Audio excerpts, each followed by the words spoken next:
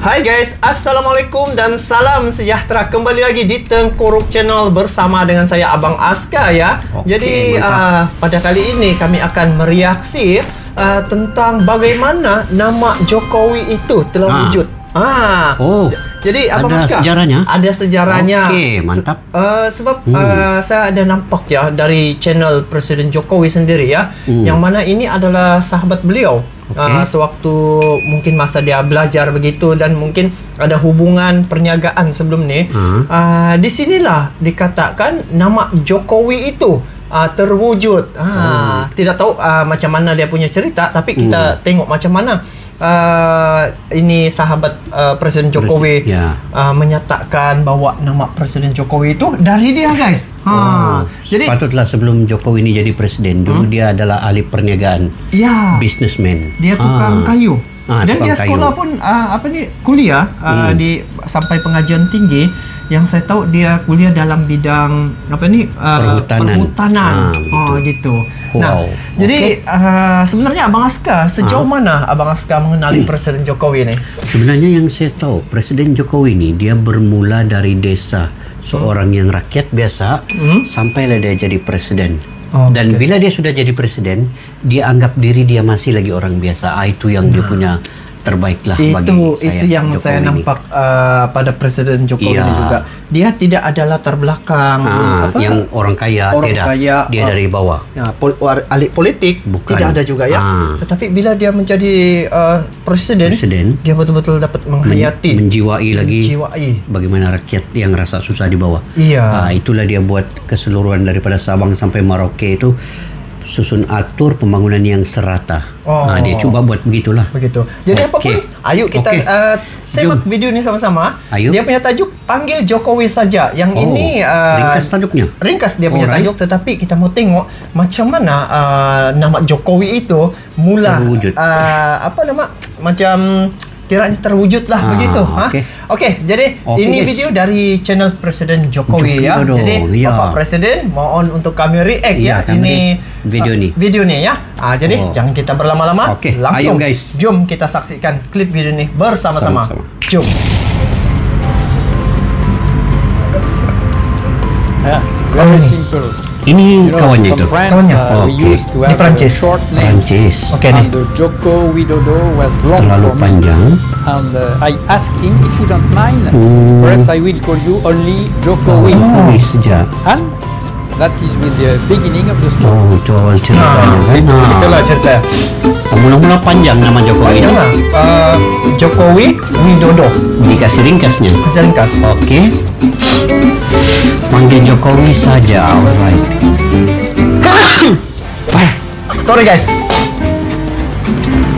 Okey, warga negara Perancis rupanya dia ni. ya. Dari Perancis Oh tengok Ah. Presiden Ketika muda-mudanya Melalui Bernard kah Hmm. Berusia 70 78 tahun sekarang. Di kota Mana tu Pa- tadi? ke Paris, kota Paris. Paris Nah ini Okey. kisahnya Tentang Ah. Jokowi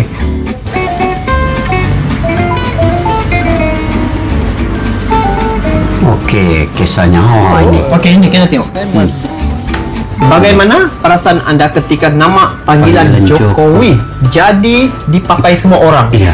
Art- artinya dia yang begini apa? Uh, bagi nama tu. Oh iya, Oh, iya. begitu. Okey. Gitu kan? Iyalah, asalnya dari situ kan. Bagaimana? you know, uh, this name was Oh, betul dan dia. And uh, today, if everybody use it, good, it's okay, but uh, it does not affect me. I'm not happy, I'm not sad. Uh, just perhaps I'm Hmm. a little bit happy because uh, I was at the origin of this name. Bagus. Okey. Masih Masih ingat momen pertama bertemu Jokowi. Absolutely. Oh. That was in uh, Solo. Di Oh, Solo. mid of uh, 99. 1989. Wih, berapa tahun sudah itu? Kesan pertama. Nah, At that time, I was impressed by Tengok. uh, his maturity. di desa di kampung, orang kampung nih, Ah. orang rakyat biasa duduk biasa begitu bermulanya Jokowi dulu. Oh. Nah, ini gitu. masa dia uh, rasanya Masih belajar mungkin, belajar study? atau macam mana ya? Atau dia sudah menjadi bisnismen masa ini? Oh, mungkin Ah. kita tengoklah dulu. I uh, really uh, mantap. smart. and, Tapi uh, macam alive. mirip Hah? Macam mirip. Mirip apa? Bang Tengku dengan Bapak Jokowi ini macam ada Uih, iras-iras. Iras kah guys? Ya. Guys, tengok betul-betul lah nanti Kita di tengok. dalam video itu masa muda Jokowi ini. Iya. Biar betul Abang Aska. Betul lah itu. Ah, nanti guys, ini Abang Ah. Aska bilang macam ah, mirip Betul. ah, Bapak Jokowi. Macam miras kan guys. Ah, Kalau nanti saya kalian tengok. komen nah. Wah, nanti Betul kalian lah. komen lah tengok sama kah tidak. Kita tengok dulu nih. Ah, Iya. Itu asal nama ah, Presiden Jokowi itu, Jokowi. Oh. Oke. Bagaimana Anda bisa dekat dengan Jokowi? Oke ini bagaimana? Uh, I was already making business. Nah, business Oh, kan. bisnis. furniture betul. with his uh, uncle in uh, Surakarta. Surakarta. One day, his uncle Hmm. introduced him. Oh. He was a graduate. Sama tahu masa mudanya. Huh, Sama nggak guys? betul betul loh sama. Serius nih? Wow. Hei, hebat master lah. from forestry. and uh? I asked Hmm. him if he was able to produce some teak furniture. And uh, definitely, uh, he told me yes. Why not? If you Oh, have some tengok. models to give to me, Bentuk uh, I badan Bapak Jokowi sama lah dengan Bang Tengku juga. Masa mudanya. him. Hmm. And uh, we started. Oh, Bisnis. ketika ini dorang berbisnis, Berbisnis. bersama di sini awal mula perkenalan. Hmm. Oh, oke. Alright. Kecewa berbisnis dengan Jokowi? Oh, never. Tidak pernah. pernah. Oke. Oke, saat Jokowi masuk ke politik, apa pandangannya? Oh, bermakna di sini sebelum uh, Bapak Presiden Ah. menjadi Ahli uh, politik. ahli politik, uh, dorong sudah lama berkenalan ya. Sudah lama berkenalan. Oh, di dalam bidang perkayuan begitu. ah, perkayuan, furniture. Furniture. Hmm, Oke. Oke. Amazing. Luar biasa ya. Luar biasa. How can you believe that uh, somebody you are working with very Di hutan, di pabrik, di uh, you know, kantor. in, uh, the forest, in the factory, in the office, uh, that one day he will not be anymore dealing with you, Oh, itu but kerjanya. comes Iya. after my Guys,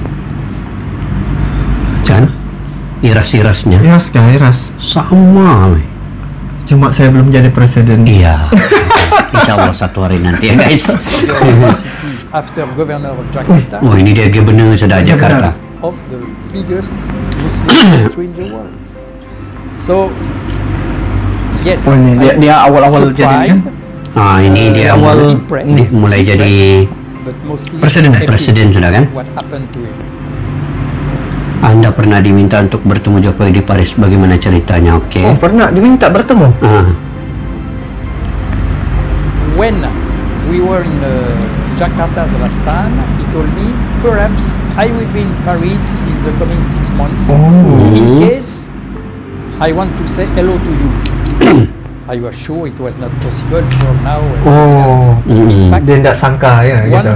Iya. Sunday, Eh, dia dia pikir apabila Presiden Jokowi sudah, Sudah. jadi presiden Ah, tidak lagi mau kiranya berkawan Jumpa. begitu Ah. jumpa dengan kawan-kawan lama. Hmm. Tapi apa dia punya Rupanya. rupanya Kita tengok embassy, Indonesian embassy. Oh, kedutaan. And, Kedutaan telepon dia. Permintaan dari request Tusuk. from Mr. President. He wants to see Ah, ingin bertemu Anda afternoon. esok siang terus. So I went to his hotel. Wih. Wih. The, the protocol told me you have 25 minutes. Wih. And by the way, Oh nih. Terus jumpa di hotel nih, jumpa. for Kita one jumpa and a dah? half hour because Oh. at that present time Dia bilang I am not saya ini saya bukan sedang oh president." Oh gitu. Now, Jokowi with you, you are Bernard. We can talk about family, our business, our relationship. And I had at that time Oh, Hmm. Inggrisnya. Dia tidak menganggap Presiden Jokowi dia itu tidak presiden. Iya. Ah begitu. Walaupun masa ini di presiden Dia juga. Presiden. Wow, mantap lah. Itu dia, dia, dia Hmm. punya macam mana ya? Macam mana dia punya penjagaan kejiwa. sahabat lama Itulah. itu. Dia tidak melupakan Hmm. uh, kawan-kawan lama ya. Walaupun sudah jadi presiden. kan? Iya, jadi itu intinya walau Oh. sampai di atas puncak tetapi Betul. kita tengok juga background kita macam mana kawan-kawan lama ini Mm-mm. meningkat sedikit sejak sudah, Sudah tidak sombong, sombong. ego. Ah, jadi Tapi kita boleh ini contohi. contohi Oh. macam dia. Dia masih ingat kawan lama. Masih betul. Wow, Jom. mantap lah. Oke, oke nih. Apa yang Apa yang berubah berubah? dari Presiden Jokowi setelah menjadi presiden? jadi- Kita tengok pandangannya nih macam Oh, mana. Kita tengok jawabannya. Not at all. When I Okay. see, uh, you know, I'm going to internet to follow the decision kebijakan-kebijakan yang dibuatnya He's discussing with other uh, president. He's Mhm. making important decisions for his country. Oh, Uh, serius lah Presiden Jokowi kalau bertindak.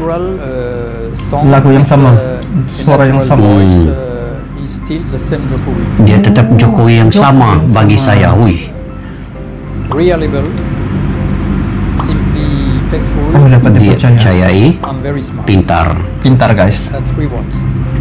oh Three words. itu sejauh Oh, pesannya. Pesan? Presiden Jokowi. The same I sent uh, to him through the uh, Indonesian embassy uh, after the uh, second election. Very proud.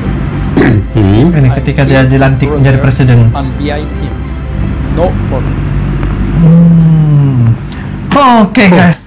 mantap Nah, jadi Bang Aska. gitu rupa ceritanya dulu ah Gitu cerita oh tentang sedikit uh, Jokowi punya nama tuh ya. Hmm, betul. Siapa namanya tadi? Mr. Bernard ya? Bernard, dari Paris ah Dari Paris. dari Perancis Jadi Ah. bermakna Presiden Jokowi ini dia sebelum menjadi presiden, Presiden. dia berniaga, Berniaga. dalam bidang perkayuan perkayuan. Ah. Hmm. kemudian berjumpa dengan Bernard Bernard. di situlah mereka saling mengenali mengenali. Yang yang uniknya Presiden Hmm. Jokowi ini dia walaupun berada di tahap yang paling tinggi kepala Ya. negara nomor satu uh, untuk Republik Indonesia, Indonesia tetapi daripada apa yang disampaikan oleh sahabatnya ini dia tidak sedikit pun berubah ya. Iya, Maksud- masih lagi yang keadaan sama macam Sama. dulu. Kenali sahabat, tidak lupa asal usulnya. Betul. Ah, itu yang perlu kita contohi lah. perlu contohilah kan. Ah. Uh, jadi sebenarnya yang Hmm. ini video saya lama sudah tengok, cuma uh, saya mau react uh, Hmm. Tidak ada kesampaian. Jadi Oh, hari ini hari ini dapat. memang dengan Abang Aska uh, samalah kita Ya. dapat uh, sharing ya pandangan Hmm. kita terhadap Bapak Presiden. Ya, betul. Uh, pantas sejak sekarang ni Indonesia bila di bawah apa ni? Bapak Uh, Presiden Bapak Jokowi Presiden banyak kemajuan. Banyak kemajuan, Uh, guys. antara kemajuan yang Abang, uh, Abang Aska tahu apa? Pertama, pembangunan dari segi infrastruktur jalan raya. Dia ah. telah bina jalan tol terpanjang di Kalimantan. Oh, Dan oh juga dia telah membina jembatan menghubungkan pulau-pulau hampir belas ribu dia buat Hmm. jambatan ke pulau-pulau yang ada di di Indonesia. Indonesia. belum lagi masuk pembinaan IKN kemudian pembinaan dia buat hilirisasi, Hilirisasi, ah, kan kilang-kilang Hilirisasi. Ah, Ah, sebenarnya. Bang Askar, saya tertarik ada satu benda yang saya tertarik betul apabila Hmm. Presiden Jokowi membuat hilirisasi itu. Ah, itu. Sebab ah, bayangkan berapa lama ya ah, Indonesia dia sentiasa mengekspor sejak dia punya bahan mentah Hmm. Iya, tuh. betul. Tetapi zaman Presiden Jokowi dia upgrade, dia membuat hilirisasi untuk buat manfaat tempat sendiri di tempat sendiri. Ah. Dia punya nilai, tahu? Berapa nilai itu berlipat kali ganda berbanding dengan jual apa mengekspor bahan mentah Bahan mentah itu kan? Ah, belum jadi. Ini sekarang nih Presiden Jokowi dia membuat hilirisasi daripada bahan mentah itu menjadi disiap menjadi barang yang sudah siap. Jadi Baru harganya lagi mahal bertambah mahal. Jadi Hmm. itu salah satu macam mana uh, pemikiran Presiden Jokowi untuk meningkatkan Ya, ekonomi betul. di Indonesia tuh. Apa pun Itu uh, Presiden Jokowi ini besar. memang memang terbaik lah ya. Memang Uh, bagi terbaik. saya men- patut dijadikan contoh dan Iya. juga uh, men- menginspirasikan juga kan betul uh, Presiden bukan senang Jokowi. dapat seperti ini ya Iya. yang saya Presiden kaget kagum juga dengan Denny Hmm. dia dari orang rakyat biasa Oh, iya, kemudian uh, pergi bisnis Bisnis. berjumpa dengan ini jadi gubernur sebelum jadi presiden dia jadi gubernur di Jakarta baru jadi presiden tapi apa kata Bernard nih Bernard sama seperti Sama. macam dulu Dia maksudnya dia masih lagi mengingati walaupun dia sudah presiden sedar diri lah. sadar diri Sedar ya diri itu yang paling kita harus respect lah dengan Bapak Betul. Jokowi ini guys Jadi Ah, mantap. semoga Bapak Presiden sentiasa dirahmati dan juga Iya. diridhoi oleh Allah SWT. Sungguh pun tinggal Hmm. berapa penggal lagi ya?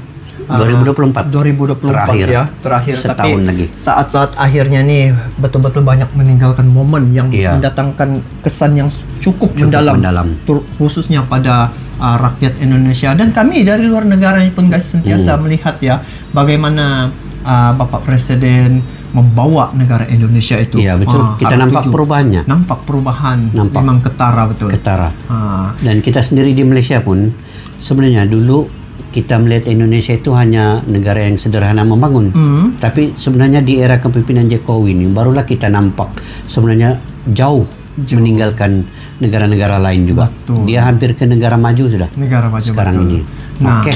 so guys, ah, itulah pandangan kami terhadap Hmm. ah, Bapak Presiden Set- setelah mendengar ah, bagaimana komen dari sahabat beliau sendiri ya, yaitu Iya. Mr. Bennett nih, Hmm. dan itu bagi pandangannya kami pun berpandangan seperti mana yang kami Iya. katakan tadi, Presiden Jokowi is the best ya. So, best. ah, bagaimana pula pandangan kalian Oh, terkait kalian. dengan Presiden Jokowi guys?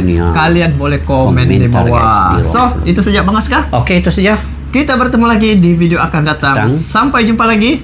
Assalamualaikum warahmatullahi wabarakatuh.